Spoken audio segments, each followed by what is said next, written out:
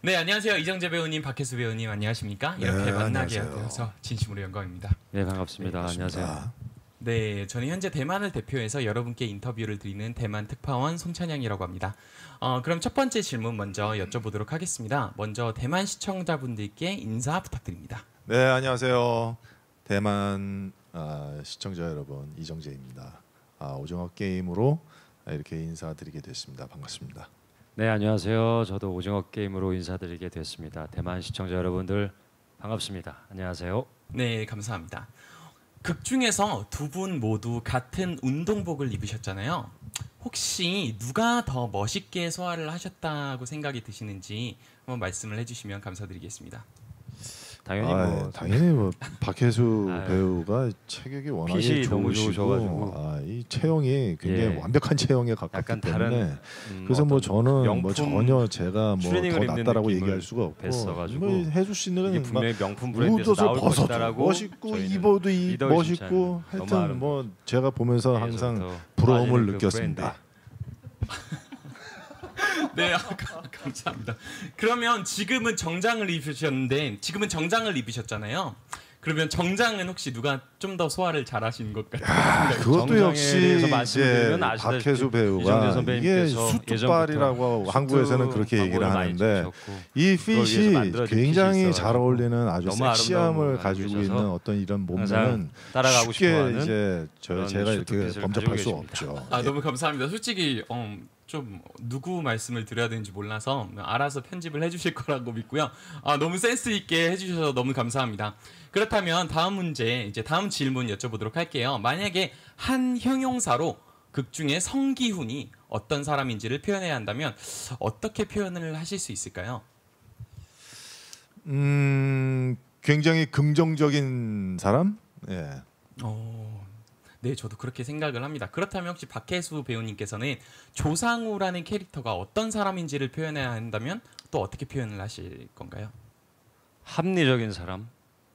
합리적인 사람. 음, 네, 너무 감사합니다. 너무 적절한 것 같습니다. 저도 그걸 보면서 어, 정말 그렇게 느껴졌고요. 그럼 또 다음 질문 여쭤보도록 할게요.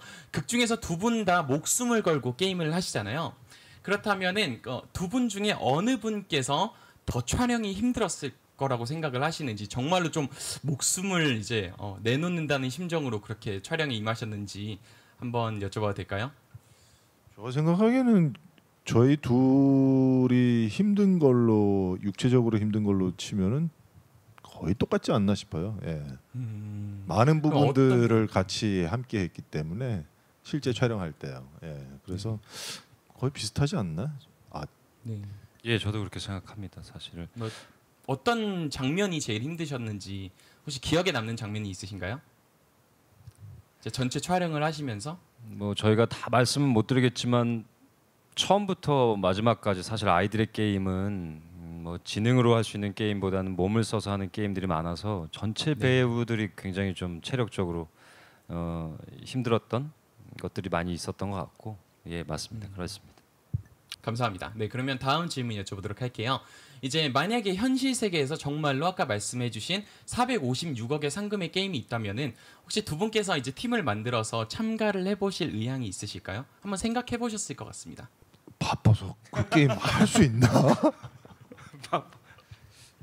예, 네, 아니 목숨을 걸 만한 그런 그 정도의 게임은 조금 좀 목숨을. 걸기에는 저희가 좀 바빠가지고요.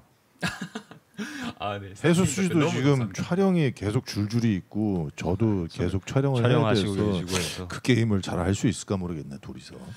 아, 네, 감사합니다. 그러면 이제 좀 마지막 질문인데요. 이제 극 중에서 개인적으로 이제 돼지 저금통이 굉장히 인상 깊었습니다. 그럼 현장에서 그런 소품, 엄청 거대한 그런 돼지 저금통 같은 그런 소품을 보시면서 어떠셨나요? 좀 이런 소품들을 보시면서. 뭐 그 안에 가득 담겨 있는 돈을 본다면은 아 이런 게임에 참여할 수도 있겠구나라는 어떤 그런 시각적인 효과가 굉장히 월등하게 뛰어났던 것 같아요. 뭐 예고편에서도 볼 수 있었겠지만 이제 무궁화 꽃이 피었습니다라는 어, 게임에서 나오는 큰 인형이라든지 거대한 음, 디자인의 에, 그 세트라든지 이런 걸 볼 때 좀 장엄하고 좀또 어떻게 보면 잔혹한 동화 같은 느낌 그런 것들이 들어서 저희 이제 배우들은 음, 집중하기에 굉장히 좋았던 세트였고 그런 무대였었던 것 같습니다. 네, 감사합니다. 그러면 혹시 대만 시청자분들께 오징어 게임을 반드시 시청해야 하는 이유를 한마디로 말씀해 주시겠습니까? 아 과연 다음은 어떤 게임일까 궁금하실 겁니다. 꼭 보시기 바랍니다. 자, 456억이 걸린 예, 거액의 상금이 걸린 게임. 여러분들은 어떤 선택을 하실지 한번 참여해 보시기 바라겠습니다. Hello, Taiwan. 안녕하세요. 오징어 게임에서 성기훈 역할을 맡은 이정재입니다. 상우 역할을 맡은 박혜수입니다. 준호 역할 맡은 위하준입니다. 새벽 역을 맡은 정호연입니다. 오징어 게임은 456억 원이 걸린 서바이벌 게임을 다룬 이야기입니다. 추억 속의 놀이가 잔혹한 사투가 되어버린 오징어 게임에 참여하고 싶다면 지금 바로 넷플릭스에서 시청해 주세요. See you on Netflix. 여러분 앞을 보시면 두 개의 버튼이 있습니다.